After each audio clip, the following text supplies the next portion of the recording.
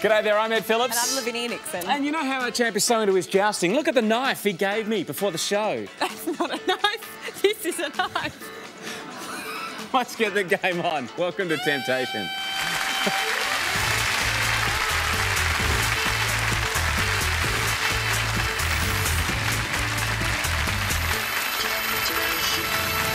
Come on. Out. Carl, That would be hyperactive for a Friday. I might need that suit of armour you've got. That actually stings when you get a bit of speed up with the sword. Thank you.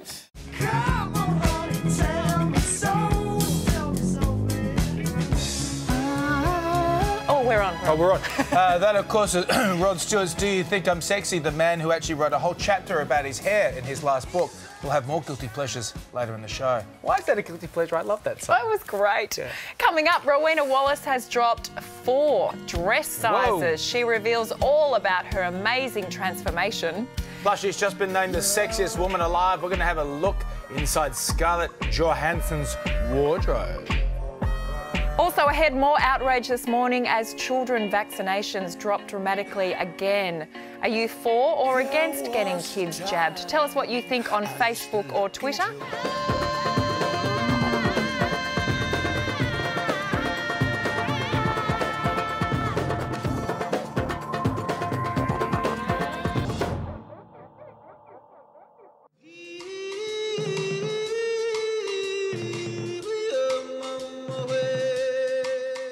Number six on our list is the opportunity to cuddle up to the king of the jungle. Well, the prince of the jungle.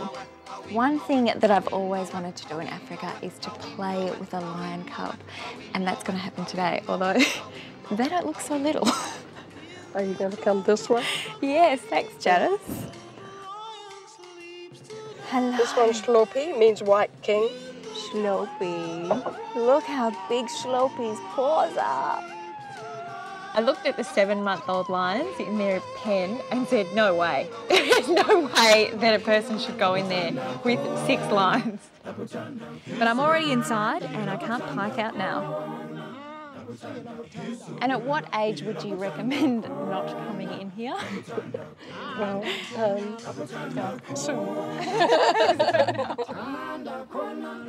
These handsome beasts are bred at the Seaview Game and Lion Park. It's a kind of stud farm. When they're older, most of these lions will be sent to zoos and other parks around the world to provide new bloodlines. But some will be released into the wild. He's sitting on my feet. It's all right, I know who the boss is. It's time to get on the safe side of the fence. And luckily, there are some younger cubs that I can get my hands on. We have to be firm with them because they have to drink. But um, they, they're not interested in us bossing them around at this stage. of course not. Oh, look at you. We always get a feisty one. This is a first for me and a second for these cuties. They've only been fed by bottle once before. They were absolutely divine. And all of a sudden, you just felt this overwhelming sense of protection that you wanted to look after them because they were so defenseless. And you don't normally think of lions as defenseless, but these babies were. Oh, the noises, the little mewing. Amazing. Of course, you have to pick your moment. When in the life cycle you play with a lion, we can play with you now, but in a few years you'll be playing with me, won't you? Could be your entree. Incredible.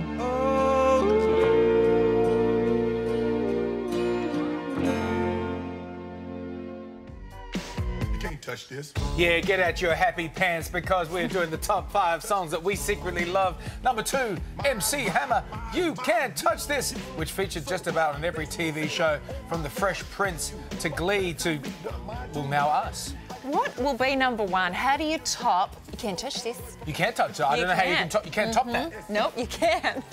Now, after an avalanche of rumours, we now have official confirmation that Bruce and Kris Jenner have separated. Let's go to Kylie Spear in LA. She's got the details. Carl and Kelly, Today Show journalists, you're obviously used to the hard hitting questions.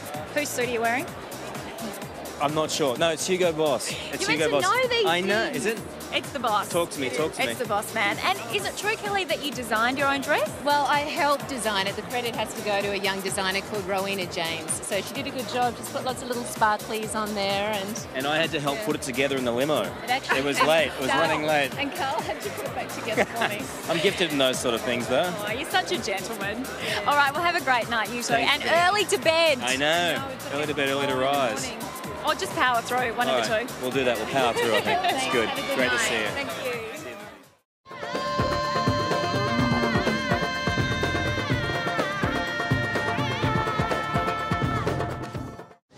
Having travelled 300 kilometres north of Auckland, I'm now going 400 kilometres south in my mission to swim with the dolphins.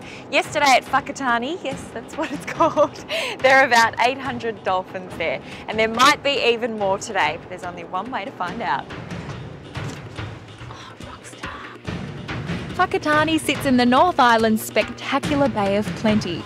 Its warm Pacific Ocean water famously teems with wildlife. We just heard from the other skipper that they have a, a group of about 100 dolphins on the 12 mile mark, so we're going to head out there now. Here they come, they're just coming into Bower. And they found us. In a matter of minutes, they were all around the boat.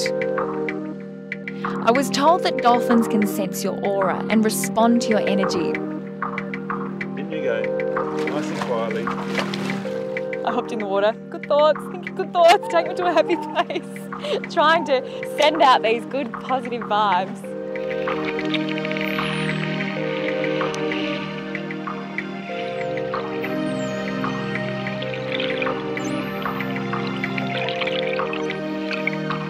It's a bit freaky because you're in their environment and they're wild animals. You don't know what could happen. So in that sense, it was a little bit, oh, what's going to happen here? You're out of your comfort zone.